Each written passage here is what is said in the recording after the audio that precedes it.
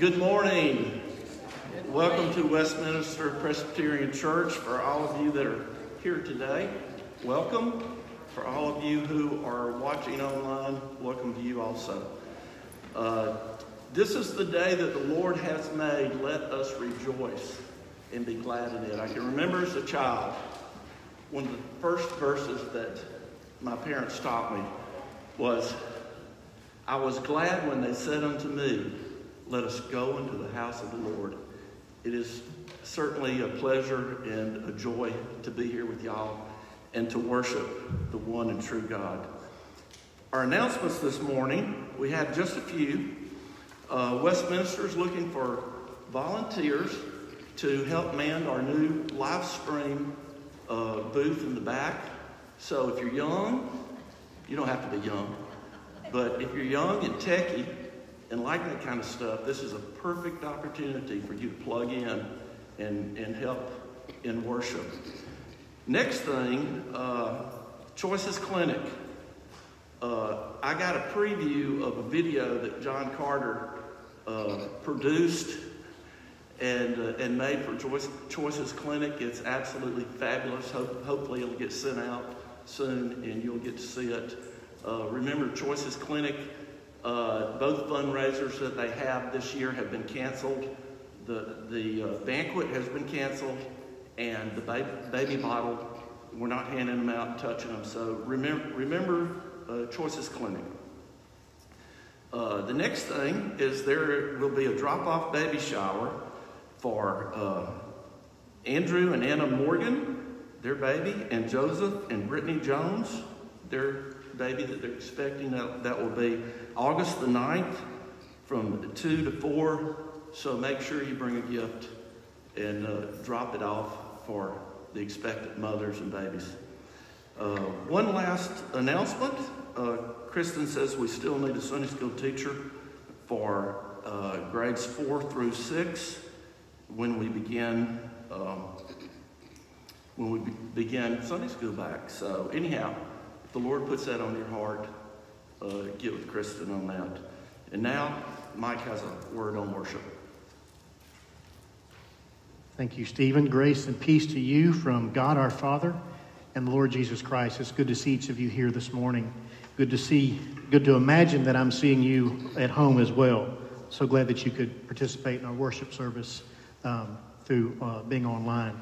You know, this morning we're going to be talking about in the sermon uh, kind of the roof of grace that is on top of us. If, I love our call to worship this morning. It says this part of it says, Bless the Lord, O my soul, who crowns us with steadfast love and mercy, so that our youth is renewed like the eagles. Have you ever, how many times have you had to say, Well, if I just knew then what I know now, I wish I could go back and, and tell young Mike Allen these things so that I wouldn't have made those kind of mistakes. But the thing that I love about the roof of grace that covers each of us is that those mistakes that we made back then, it's been made null and void. That our mistakes have no power over us now. We still may suffer some of the consequences, but they have no power over us. We live under, He has crowned us with steadfast love and mercy, which makes the days of our youth uh, not, mis- not mistake ridden. I love that about it. And our, you notice our, our hymns and, and all the other things in our worship service remind us that we live under a roof of grace. That's why we assemble. That's why it's so important for us to gather as God's people because we get on that treadmill every day thinking, how can I earn my way back in? And worship recalibrates us and it shows us that we have been crowned with steadfast love and mercy. Let's prepare our hearts for worship. Shall we pray? Heavenly Father, we love you and we thank you, Lord, for covering us, for giving us that crown that reminds us, Lord, of your steadfast, never ending love toward us. That your mercy is new every morning. When we wake up every morning trying to figure out how we can earn your approval, Lord, you remind us we've been crowned with your approval That's a status that can never be taken away from us. Father, as we worship you this day, Lord, invigorate our worship with that knowledge. Come and inhabit our praises, we pray. In Jesus' name, amen.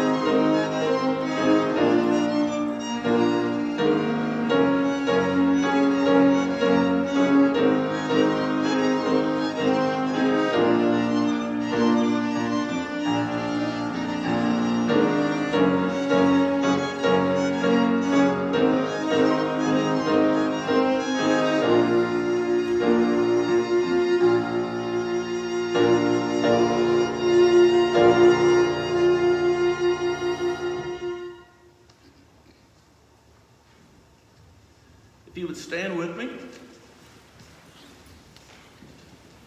Our responsive call to worship this morning is it comes from Psalms 103, verses 1 through 5. I'll read the dark print, you join along on the light.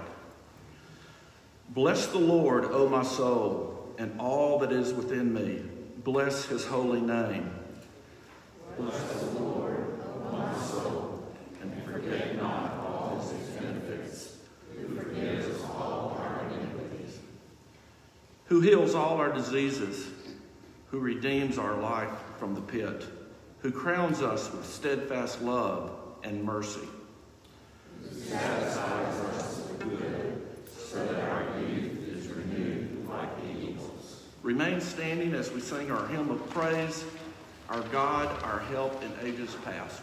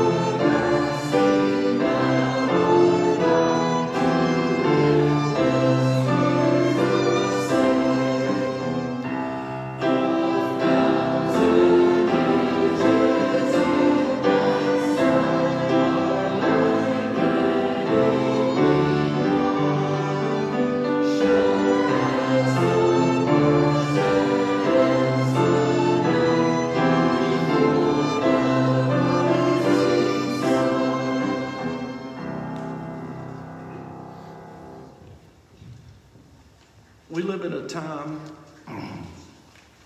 where so many things divide us.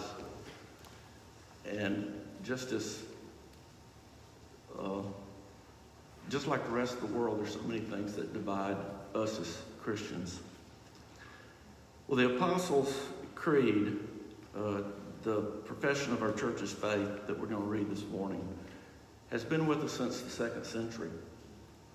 And it's something that we can join with all Christians of all time, of all denominations, and read this and say what we believe. So join with me as we uh, say our profession of our church's faith. Christians, what do you believe? I believe in God the Father Almighty, maker of heaven and earth, and in Jesus Christ, his only Son, our Lord, who was conceived by the Holy Ghost, born of the Virgin Mary, suffered under Pontius Pilate, was crucified, dead, and buried. He descended into hell. The third day he rose again from the dead. He ascended into heaven and sitteth at the right hand of God the Father Almighty. From thence he shall come to judge the quick and the dead. I believe in the Holy Ghost, the Holy Catholic Church, the communion of saints, the forgiveness of sins, the resurrection of the body, and the life everlasting. Amen. You may be seated.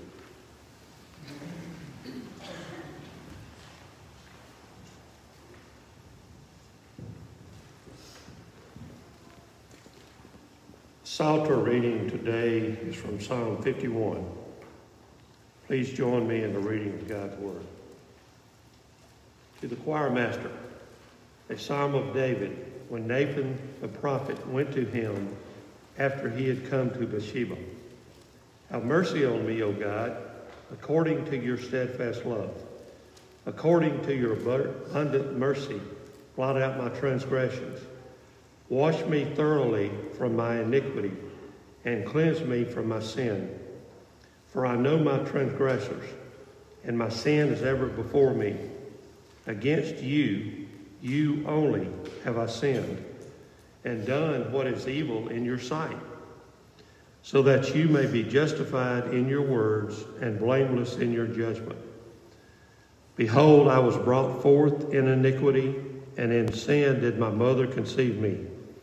Behold, you delight in truth in the inward being, and you teach me wisdom in the sacred heart. Purge me with hyssop, and I shall be clean. Clean. Wash me, and I shall be whiter than snow. Let me hear joy and gladness. Let the bones that you have broken rejoice.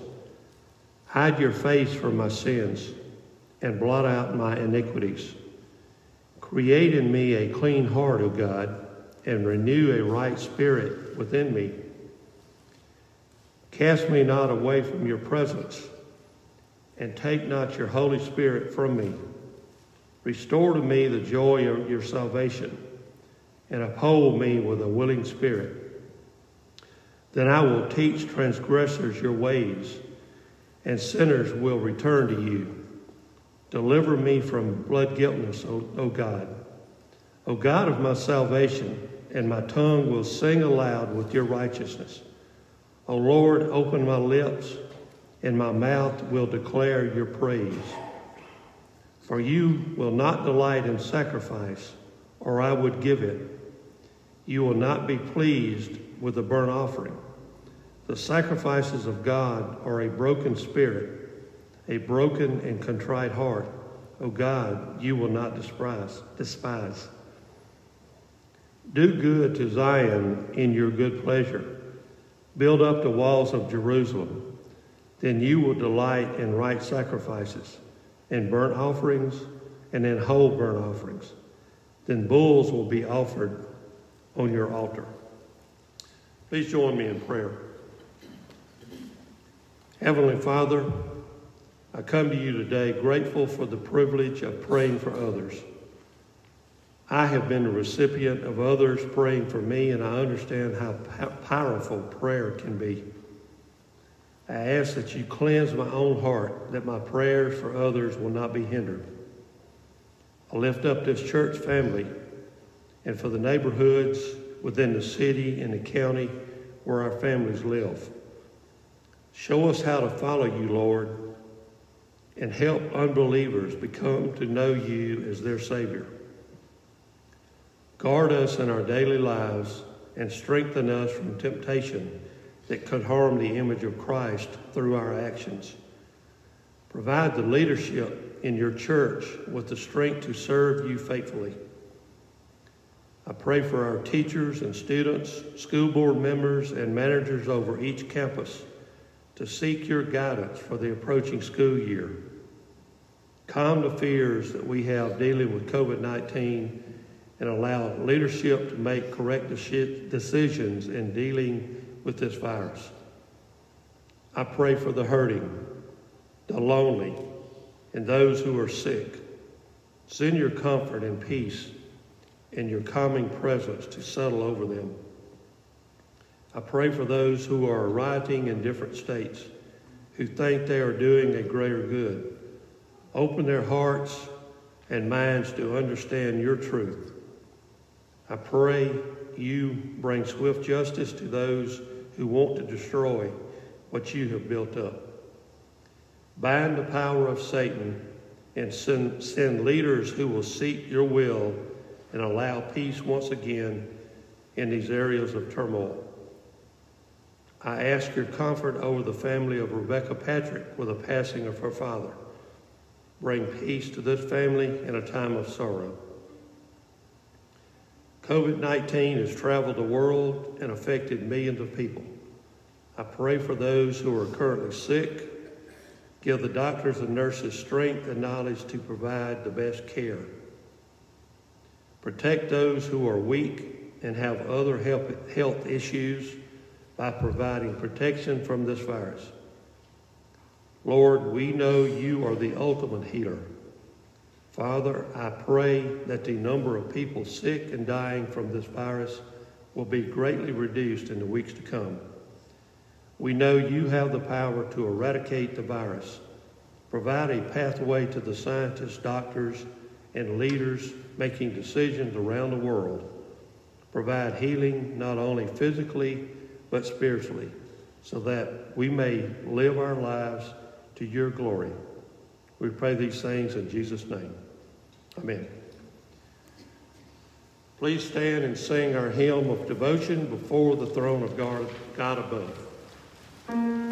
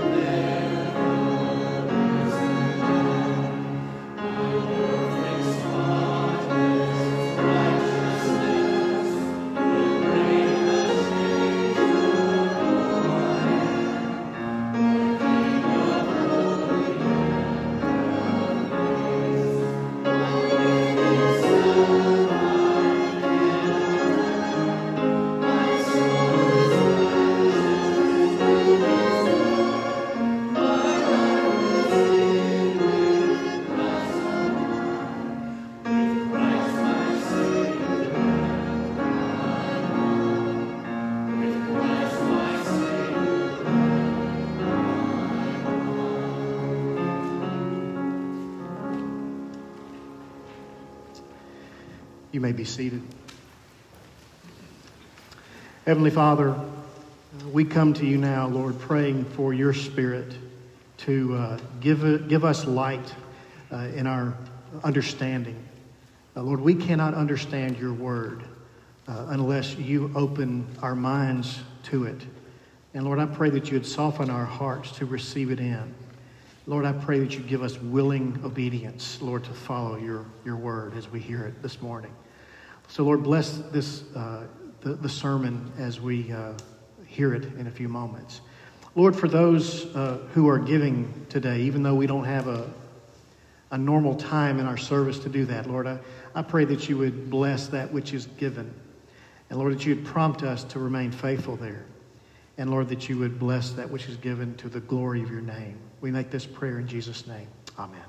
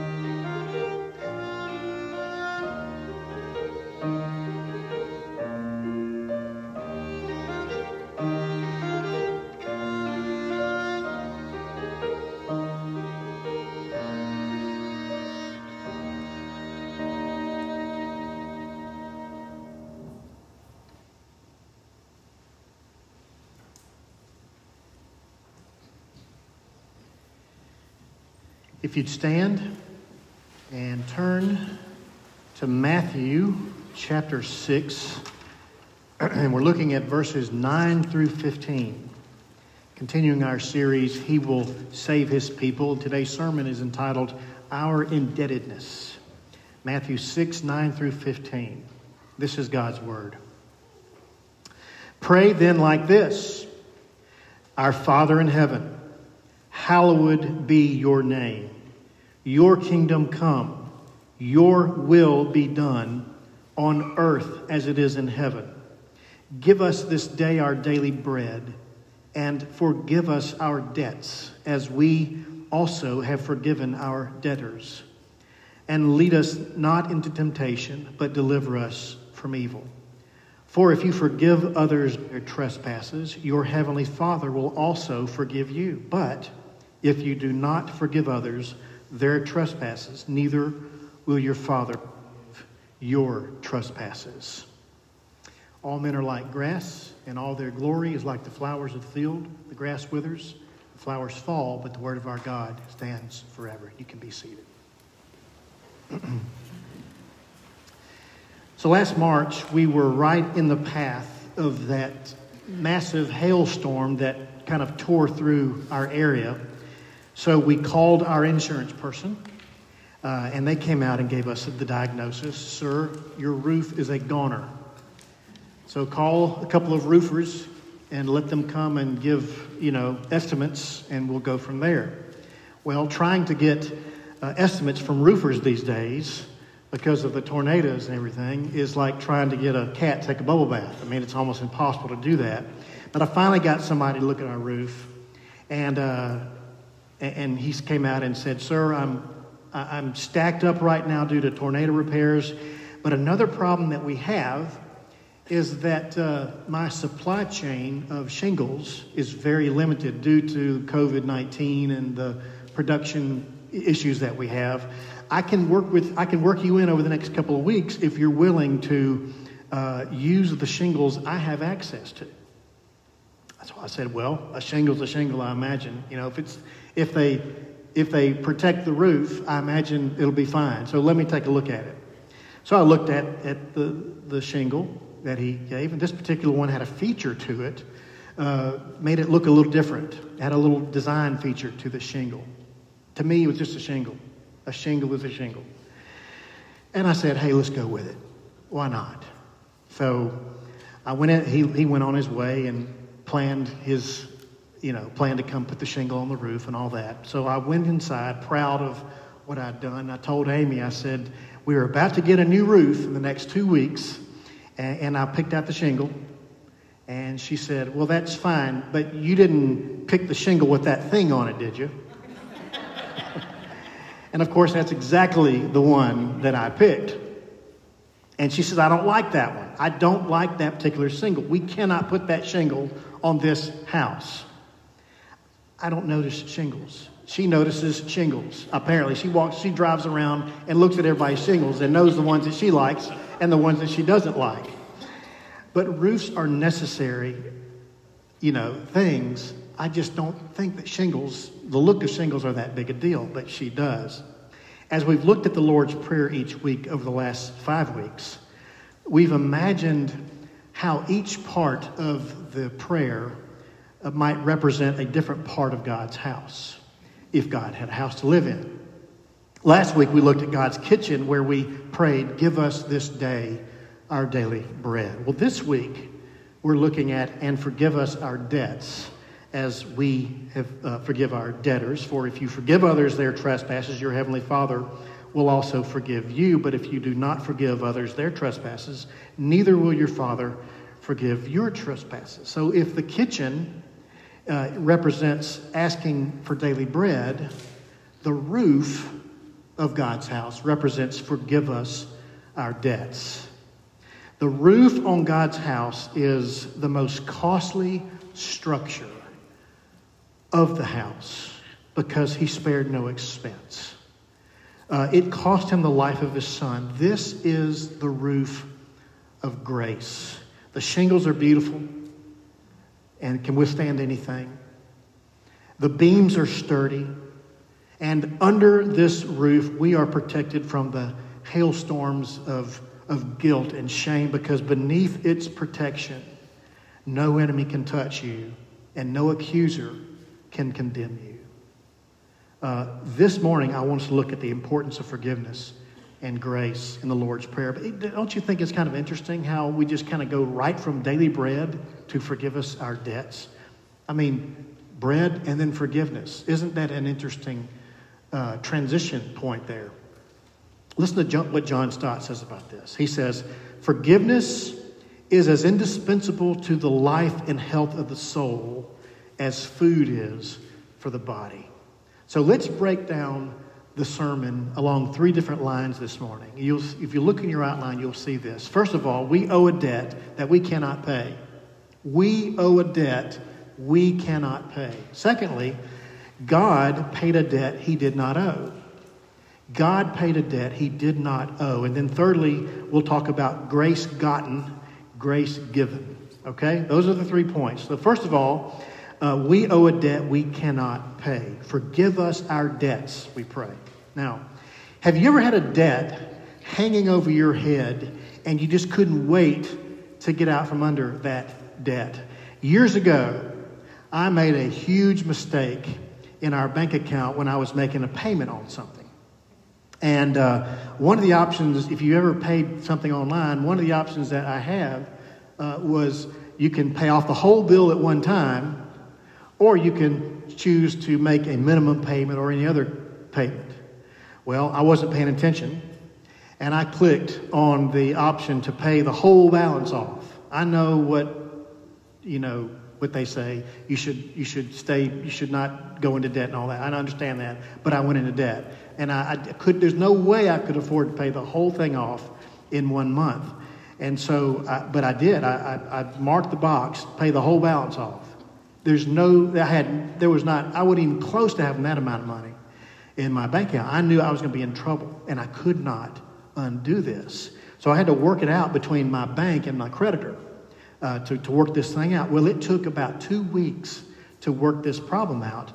And for two weeks, I had this huge weight hanging around my neck because my checking account was getting overdrawn over and over and over and over. And I couldn't do anything to stop it over that two week period of time. Owed a debt I couldn't pay.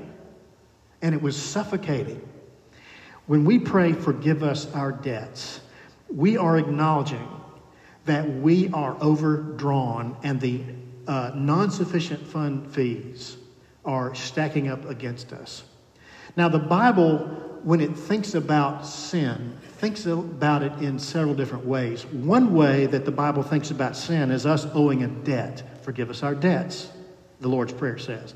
We usually think of debt in monetary terms, but there's also something that we owe. It's, it's a moral debt. Imagine, if you will, I heard R.C. Sproul say this one time, this is a great illustration.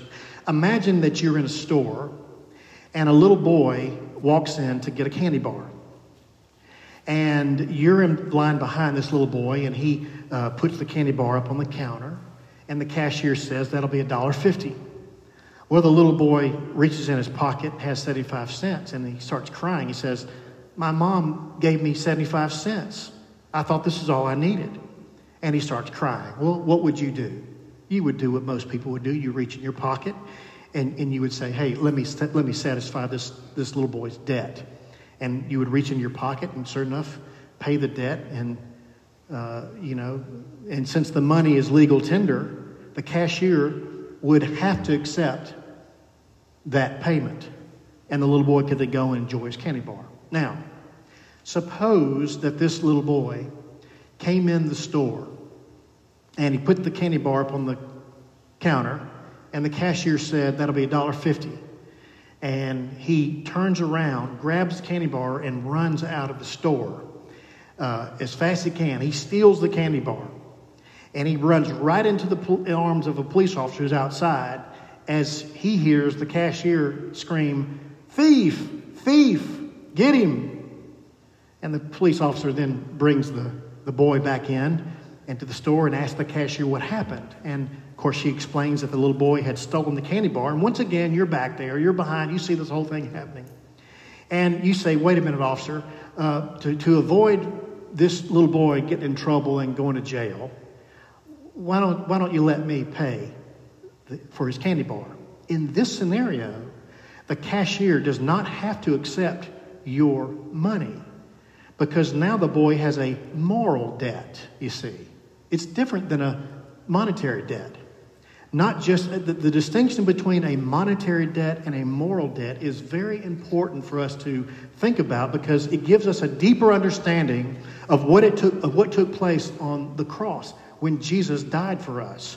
When we sinned, we fell into a moral debt to God. And Jesus paid our debt on the cross. But because it was a moral debt, the Father did not have to, uh, was not required to accept the Son's payment. However, in His mercy and in His grace, uh, He allowed Jesus to pay our moral debt. Now, the Bible makes it clear our debt was so great that we could not possibly pay it. Eric Surrett is, is one of my bankers. And if Eric Surrett called me up and said, Hey, Mike, uh, you will go to jail unless you can pay uh, this insufficient fund amount within a week. I could find the money. I, I figured out a way to find the money, and so I didn't have to go to jail, and Eric would drop the charges against me. But if Eric were to say, Mike, you owe $10 billion, my situation would be hopeless because I don't think any of you, I, I think we'd take everybody in this room, add up your assets, and I don't think it would equal $10 billion. Uh, but so, so it, would be, it would be impossible for me to pay that amount. Our moral obligation to God is far greater than $10 billion. The nature of our debt to God is such that He has commanded us to be holy as He's holy. And He's commanded us to be perfect even as He is perfect. And with one sin, one sin, we fall hopelessly and helplessly short of that standard, placing ourselves in a position of indebtedness that we can never escape in and of ourselves. We all think that we're entitled to one mistake. Every, you know, everybody in America gets at least one mistake. You, you get, you get one mulligan, right? Where we think we have, and, and of course, we think we have rights to all kind of things. But in truth, the only thing that we're entitled to is everlasting punishment and hell. God never said we're entitled to one mistake. And if we were, how long did it take for you to burn up that one mistake? We've sinned against God multiple times since we've rolled out of bed this morning. I've sinned while I've been up here preaching, I'm sure, in some way. I mean, imagine how great our debt is after a lifetime of sin. We owe a debt we cannot pay. Now, the Bible also thinks of sin as a crime. Uh, let's say I go to a gas station and I take a, a, gun out and I hold it up to the cash register and I, the cashier and I say, give me, give me all your money. And, they have me on videotape and there's witnesses all around. You know, they can testify and all the evidence points to me without question. There I am in full color. Uh, you know, they got me. But when it comes to the plea, I, I say to the judge, Judge, I, I plead not guilty. And, Judge, the reason why I plead not guilty because I just don't feel guilty about this. I don't feel guilty.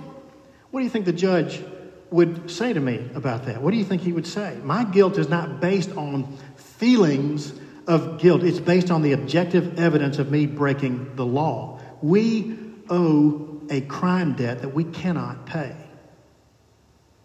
Now, sin is also described in the Bible as a state of hostility.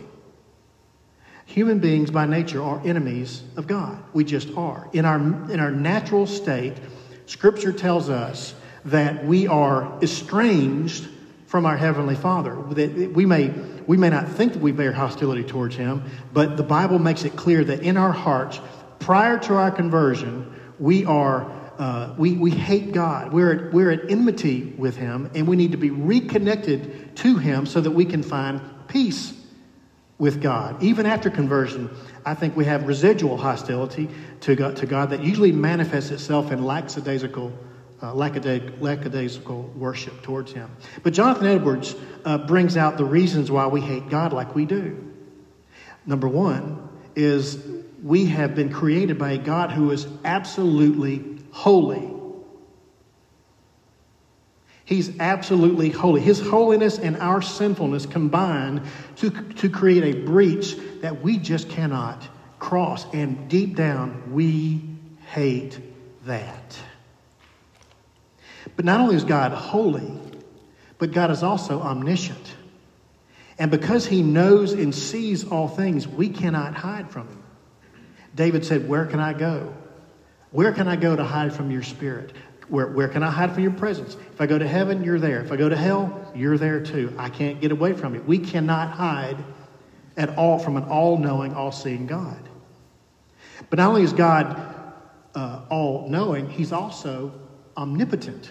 He's all powerful. And that means that, that He's all knowing and utterly holy and has the power then to enforce His holy standards on creation. And if that is not enough to confront our limits uh, of our broken uh, humanity, God is immutable. You know what that means? He does not change. And, and, and deep down, we hate the fact that God does not change. You know why? Jonathan Edwards says the reason we hate the fact that God does not change is because that means He's holy from everlasting to everlasting, which means that there is no hope that, that He will ever stop being holy. And that means that in, that in and of ourselves, we will never, ever, ever, ever measure up to His standard. And this all teaches us that we who are at enmity with God because of our sin have a, have a formidable opponent in God that when we are hostile towards Him, we've entered a battle that there's no way we can possibly win. The only way the battle can end is by our unconditional surrender. And that's what we do when we pray, forgive us our debts. We're saying, I'm giving up. I'm saying, God, I cannot fight you. I don't want to be estranged from you anymore. I, I, I want to be restored to you. I want to be able to love you and not hate you, and I want you to love me in spite of my hostility towards you. R.C. Sproul says that praying this petition of the Lord's Prayer is to sue God for peace. And that leads me to our second point. We owe a debt we cannot pay. But number two, God paid a debt he did not owe. God paid a debt he did not owe. Back to the $10 billion debt that I owe Eric Surrett. Um, and, and, me not knowing anyone with enough assets to cover my bill to borrow from. I don't know anybody. I don't, I don't know anybody who's got that kind of money or assets. The only one with infinite worth is the only one who can pay this debt that we ourselves cannot pay. And God assigned Himself the task of balancing our account. What does Mark uh, 2 7 says? Only God, only God can forgive sins. And you might say, well, if God is God, then he could just snap his fingers and, and make it all go away. He's God. Isn't that what God can do? If he's God, he can just excuse our sin like it never happened. Listen, anytime a wrong is committed, a debt is owed. Anytime a wrong is committed, a debt is owed. Now you think, well, okay, that's simple. I want you to think about this. If I borrowed your cell phone and then I actually dropped it and I broke it, how would we make that right? Well, there's two ways. I can go out and pay for another phone and give it to you, and that would, that would, that would satisfy the debt that exists between me and you. Or Let's just say we're really good friends. And you say, Mike, look, don't worry about it. It's okay. Uh, it could have just as well happened to me. Uh, no worries. All is forgiven. Don't worry about the phone. Okay, but there's still a broken phone out there. There's still a problem. And in this scenario, you have absorbed the cost of me breaking your phone. If you forgive me rather than making me pay the debt, you absorb the debt. Either way, the debt is there and somebody's got to pay for it. Either I pay for it or you absorb it, but it's going to get paid one way or the other. Does God punish you for your sins? He could have. He could have, he could have crossed your name out of the book and wiped you off the face of the earth. But what did he do? God paid a debt he did not owe. God put the wrong on Jesus Christ, who never did anything wrong, so that we would be put right with God. In other words, in banking terms, He took your statement flowing with um, red ink and bad checks and an infinite amount of non sufficient fund fees, and He put His name at the top. And then He took, he took His statement which listed a zillion deposits and not one withdrawal. And he assumed your debt, and you assume his fortune. And that's not all he did. He also paid your penalty. If you're overdrawn at the bank, you've got to pay a fine. There's going to be insufficient fund fees. If you're overdrawn with God, a penalty must be paid. And that fine from the bank is a nuisance. But the fine with God, the penalty from God is hell Jesus not only balanced your account, he paid your penalty. And from the cross, he cried out, It is paid in full, tetelestai. So if the task is finished, is there anything to add to that? Is there anything you can do to increase it, to add to it? What more could you add? Look, even when we pray this prayer, uh, forgive our debts, that does not earn us grace. We repeat the words to remind us of the forgiveness we have, not, not to attain the forgiveness we need. This prayer reminds us of a roof of grace that covers us. So, so what are you going to do with this? God has paid a debt he did not owe on a debt that we could not pay. What do we do with this? Jesus assumes that you would ask that question. And so, lastly, we look at this grace gotten, grace given. Grace gotten, grace given.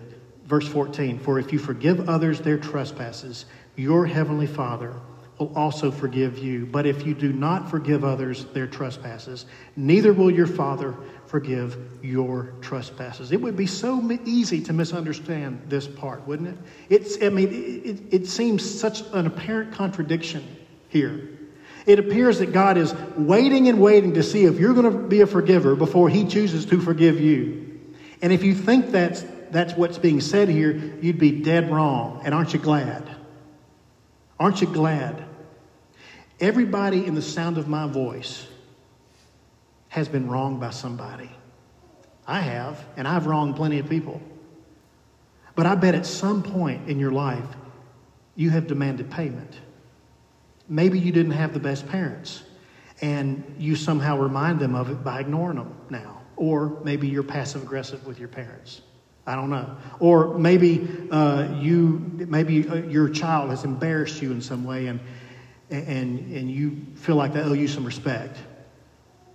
Or perhaps your spouse hurts you early on in your marriage, and you hold that over them, and and you make them pay for that hurt in in little ways over and over again. Or maybe a friend burned you in some way, what are you going to do with those in your debt? What are you going to do with that? Dealing with debt is at the heart of your joy and your sanctification. And it's at the heart of the Lord's Prayer for a reason. To say that we need to forgive those who have wronged us is not to minimize the reality of our wounds. The issue is not the existence of pain, it's the treatment of pain. So, what are you going to do with your debts? What are you going to do with it? Dale Carnegie tells a story about a visit to Yellowstone Park where um, he saw a grizzly bear at the center of this meadow feeding on some discarded camp food. And for several minutes, he scavenged alone out there, this big old grizzly bear. And then a skunk walked through the meadow toward the food and took his place right next to the grizzly bear.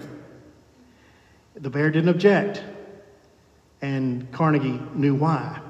The grizzly bear, he said, knew the high cost of getting even. Settling the score is done at great expense. God isn't waiting on you to forgive so that you can forgive, uh, so that you can forgive your, uh, others. Your ability to forgive is mere acknowledgement that you yourself have already been forgiven. N.T. Wright says this, and I think it's pretty brilliant. He says, Failure to forgive isn't a matter of failing to live up to a new bit of moral teaching, it is cutting off the branch you're sitting on. The only reason for being kingdom people, for being Jesus people, is that the forgiveness of sins is happening. So if you don't live forgiveness, you are denying the very basis of your own new existence. Listen to what John Stott says. He puts it this way For God forgives only the repentant, and one of the chief evidences of true repentance is a forgiving spirit. Once our eyes have been opened to see the enormity of our offense against God, the injuries which others have done to us appear by comparison extremely trifling. If, on the other hand, Stott says, we have an exaggerated view of the offenses of others, it proves that we have minimized our own. Extending forgiveness is a standard and a hallmark of a true conversion to Jesus Christ. Show no forgiveness, and you reveal who you aren't. Show no forgiveness, and you show who you are not. You remember the parable of the unmerciful servant. It's as clear as it can be. Matthew 18 23, Jesus said that the kingdom of heaven is compared to uh, the king who, who wished to settle all the accounts with his servants. And so one of the servants couldn't pay his debt because he owed 10,000 talents, which would be somewhere around, get this, in today's money, $3.48 billion. Imagine that kind of debt. What did this guy do to run up that kind of debt? That's how much the President of the United States is worth $3.48 billion. It was impossible to pay back. And so the king commands that he be sent to prison to pay off his debts.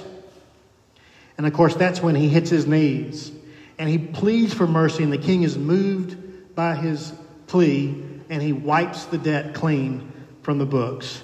And he says, You are released of your debt, you are completely forgiven.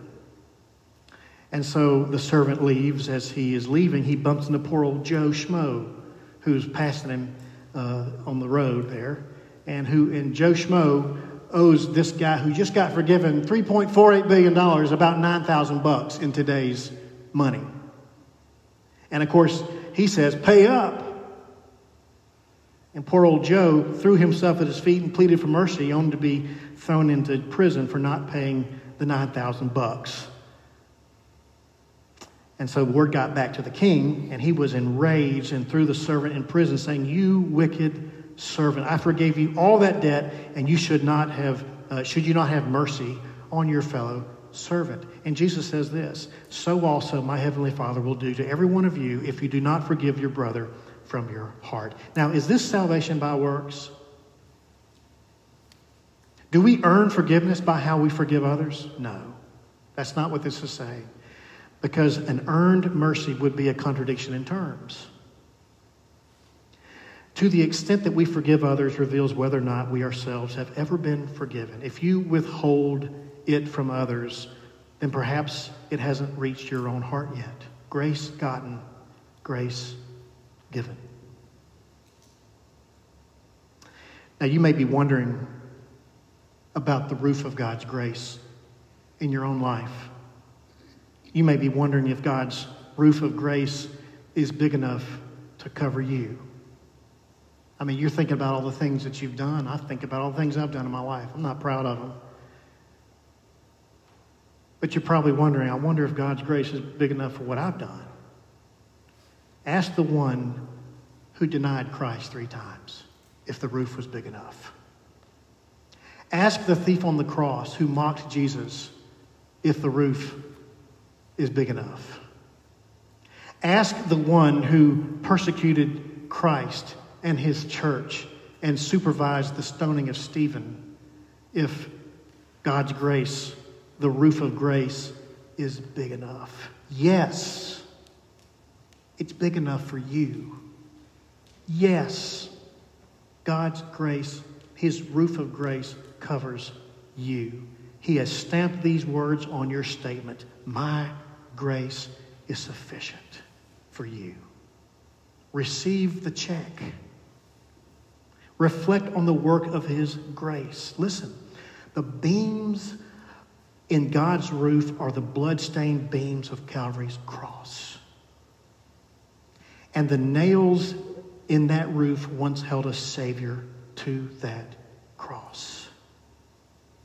This is what it means when we pray, Forgive us our debts as we have forgiven our debtors. Let us pray. Heavenly Father, what a gift you have given us in forgiveness. You have called us to regift it to those who have need of it. You have covered us in grace and empowered us to be kingdom people. Lord, we thank you for this prayer model. And Lord, we ask that you would so ingrain our hearts and minds with the grace and command to be forgivers that we would see a great revival in our midst. Lord, for those who don't know your salvation today, please, Lord, pull them into your wounds and cover them this day with grace. Turn their hearts to you as they pray, Forgive me of my debt. For those of us, Lord, who need to extend mercy and forgiveness to someone else, Lord, soften our hearts, reveal those people to us, and make us miserable until we reconcile. Thank you, Lord, for your word. Sanctify us with the truth. And we make this prayer in the name of Jesus. Amen. All right, if you please stand. And we'll sing our closing hymn.